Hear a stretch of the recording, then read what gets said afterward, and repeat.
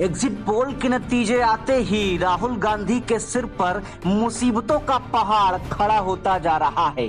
मामला सिर्फ़ सिद्धू का नहीं है, जिन्होंने कैप्टन अमरिंदर सिंह को लपेट लिया है, बल्कि एमपी में ज्योतिरादित्य सिंधिया और राजस्थान में सचिन पायलट भी कमलनाथ और गहलोत सरकार की जड़ों में मट्ठा डालने में जुटे हैं।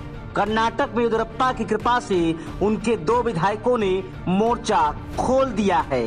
एमपी में तो मुश्किल दो तरफा है। पंजाब, एमपी और राजस्थान में तो बहुत हद तक राहुल गांधी अपना बोया ही काट रहे हैं। पहले तो उन्होंने सिद्धू, सिंधिया और सचिन पायलट से जमकर काम करवाया और जब सीएम बनने की बारी आई तो तीनों को किनारे लगाकर कैप्टन कमलनाथ और अशोक गहलोत को बिठा दिया।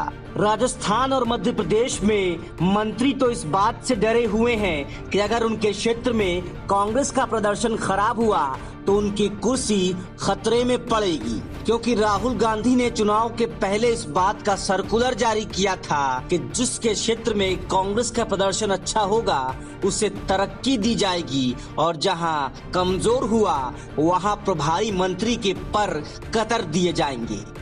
इसी वजह से गहलोत और कमलनाथ ने ज़्यादा वक्त अपने बेटे की जीत पक्की करवाने में खर्च किए। गहलोत ने तो करीब सौ सभाएँ अकेले जोधपुर में कर डाली। अब सचिन पायलट और सिंधिया चाहते हैं कि हार का ठीकरा गहलोत और कमलनाथ पर फोड़ा जाए। कुछ ऐसा सिद्धू भी कर रहे हैं। मतलब कि कांग्रेस की चार भैंस पानी में जाने को तैयार है। बस कोई रास्ता दिखा दे। Bureau Report, News of India.